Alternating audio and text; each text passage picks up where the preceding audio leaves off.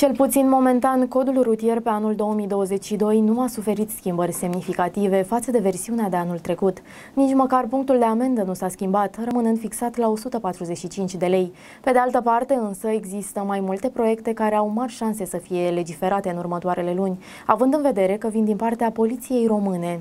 Șoferii români par cei mai nerăbdători dintre toți, iar această lipsă de răbdare transpusă în claxoane, manevre de intimidare și alte gesturi agresive urmează să fie paralizată cât se poate de scump. Dacă proiectul de lege va fi promulgat înainte chiar de jumătatea acestui an, se vor da amenzi de până la 3.000 de lei pentru depășiri periculoase și claxonat excesiv. Trebuie să fie ordine. Trebuie să fie ordine în dezordine. Care este, dar trebuie să fie ordine. La vârsta mea nu mai îmi permit uh, teribilisme de genul ăsta, dar oricum, merg normal, normal. Claxonul folosesc atunci când trebuie, nu oricând, că e deranjant. Și este un mod de agresiune, o, o modalitate de a agresa pe ceilalți. Întâlniți în trafic uh, alți șoferi care claxonează excesiv? Sigur, sigur, sigur. Da. Cetățenii consideră că cea mai indicată măsură în cazul acestor manevre de intimidare ar fi suspendarea permisului. Nu amenzi, nu amendate face, permisul și confiscarea mașinii.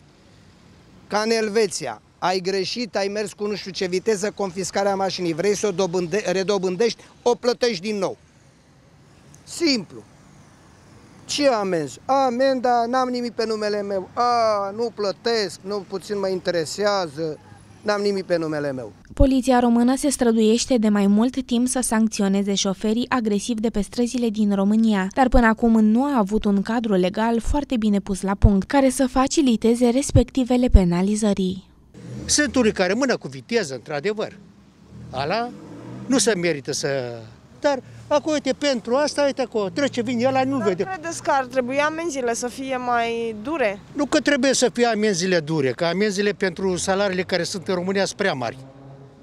Nu amenziile să fie dure, să le ia permisul. Dar în trafic întâlniți și persoane care claxonează excesiv, într-un mod agresiv? Sunt, e tineretul în ziua de azi care se grăbește. Se grăbește tineretul.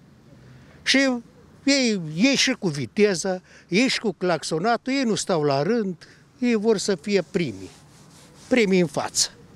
De multe ori sunt primii la accidente decât în față. Poliția română se străduiește de mai mult timp să sancționeze șoferii agresivi de pe străzile din România, dar până acum nu a avut un cadru legal foarte bine pus la punct, care să faciliteze respectivele penalizării.